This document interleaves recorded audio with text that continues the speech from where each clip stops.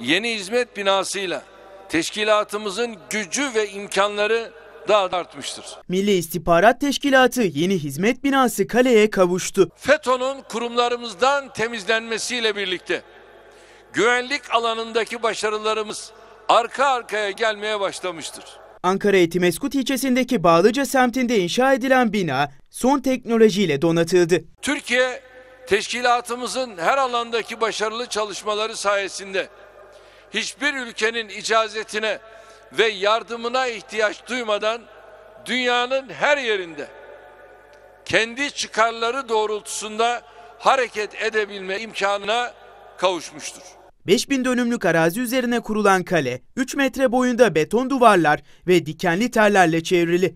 Ayrıca dinlemelere, yetkisiz giriş ve sızmalara karşı da özel olarak tasarlandı. Dünyanın adeta yeniden yapılandığı bir dönemden geçiyoruz. Karmaşık ve değişken tablo karşısında elimiz kolumuz bağlı duramayız.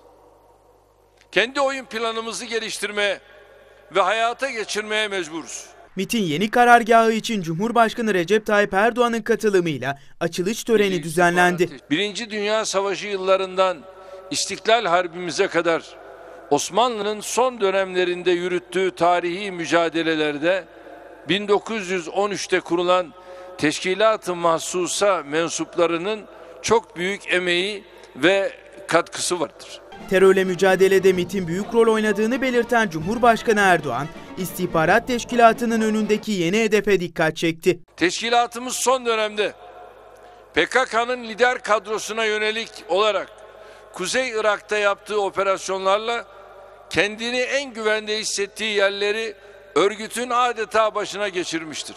FETÖ'nün haberleşme sistemi Baylok'u ve mahrem yapılanmasını çözerek devlet sisteminden bu büyük belanın temizlenebilmesi için gereken altyapıyı oluşturmuştur.